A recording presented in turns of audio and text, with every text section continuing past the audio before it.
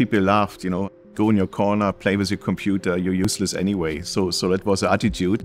In the early 90s, uh, people became worried. Many people still hated it, but they knew they can't survive without it somehow.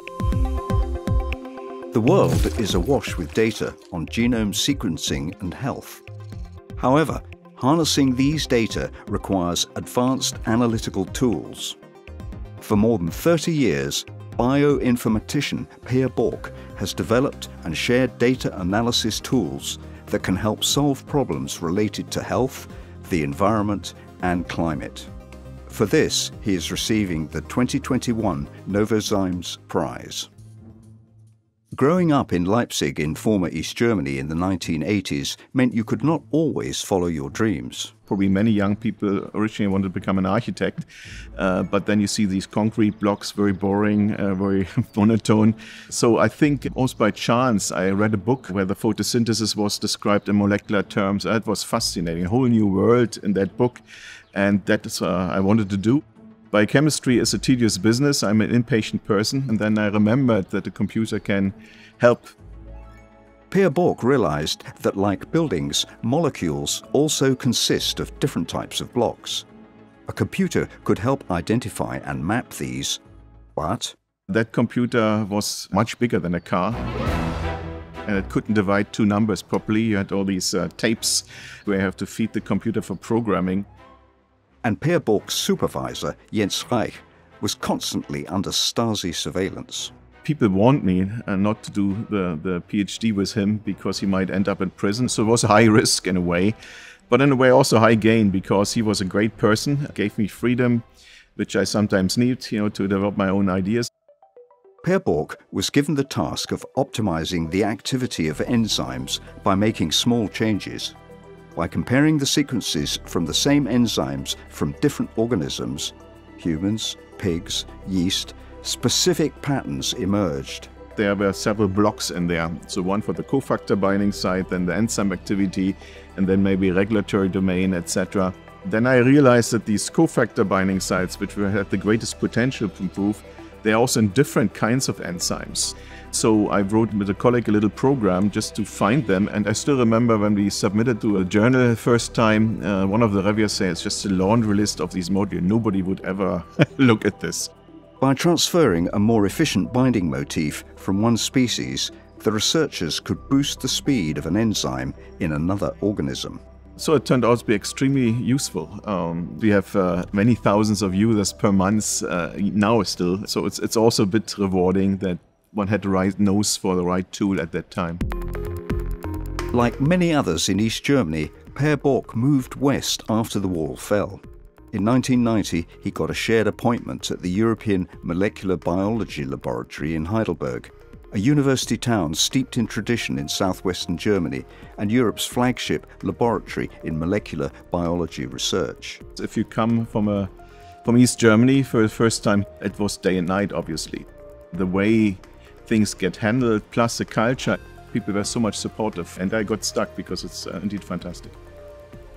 During the mid 1990s, with the emergence of the World Wide Web, Peer Bork's pattern search database was transformed to a highly effective online tool, SMART.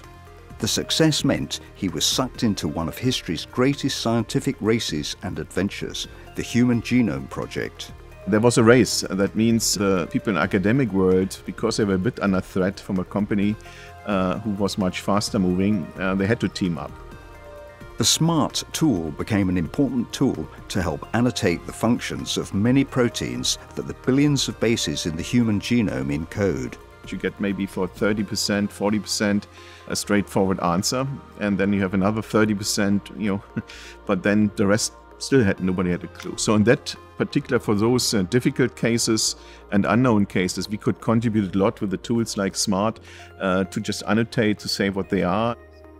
Soon, Peer Bork got invitations from numerous other early animal genome sequencing projects. The many new sequences raised many new philosophical questions, like what makes a chicken a chicken and not a human. 70% of the genes are the same, even the modules. So it's only 30% chicken left. We have a bit, of, better taste than a chicken. I mean, we have more taste receptors, but nothing about brain or so. So basically, the biggest difference is that they have feathers and we have hairs. Although questions like these seem exotic, they are crucial if a researcher or a company wants to induce yeast to produce a certain human protein. Although genes in a genome can be almost randomly arranged in animals, in bacteria, genes come in pairs or more. This became the first entry point, what, what we call STRING, to predict which two genes are interacting. But if one gene is interacting with the next one, and there's a third one in a way that comes back to a network.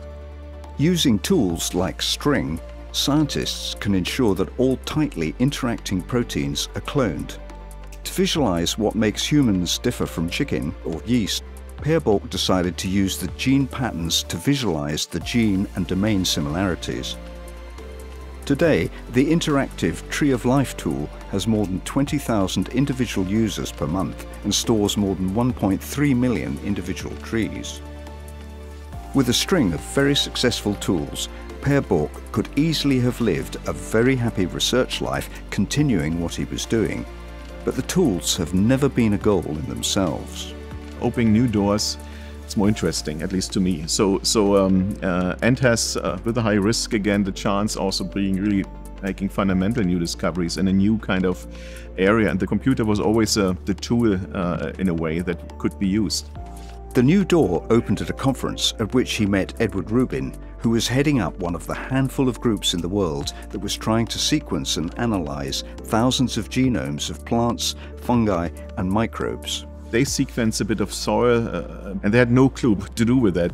So they had these snippets, and this is uh, much harder than a genome project because the snippets don't belong to one entity, to endless entities. To organize these puzzle pieces into genes and organisms, the researchers had to develop many novel tools to create what are known as metagenomes. It was so exciting because, again, it was uh, having real data, the eye opener, what you could do with all this. So, whatever we see, uh, not in an organism but in an environment, this is a footprint of an environment. Peer Bork and European colleagues decided to investigate one of the least explored but most well known habitats the human body we realized in course of the analysis is that you could stratify the human population in, in three different groups that we called enterotypes. Although what is normal is still unclear, Peer Bork and colleagues then embarked on finding microbial markers for certain diseases. We have quite a few other candidate diseases where we think the microbiome uh, biomarkers are good. Pancreatic cancer, for example, where diagnostics is very difficult. You see it too late, uh, and if you see it, it's usually too late indeed. The researchers are now developing new non invasive and cheap early screening tests that complement existing tests. We are probably 70% different in microbial composition. And we know now that the drug response differs. And if we know what's in, in us and each of us, I think we can tailor the medication much better. And I think that is not science fiction, that is achievable in a reasonably short time scale. From working with very small protein domains, large genome sequencing projects, and the study of the human microbiome, Peer Bork's journey continues onwards to still greater goals. This was really uh, an eye opener to go yet another level from the protein to the genome, you know, to the environment, uh, uh, to many genomes, and uh, now we go to the to the Earth. People laughed about at the beginning, you know, you're silly, but it turned out a fantastic success. As part of the Tara Oceans Consortium, which takes samples around the world at depths down to 1,000 metres, Peer Bork and his colleagues hope to create a catalogue of the ocean's biodiversity and study interactions between them to learn how environmental factors such as temperature affect ocean microbial communities.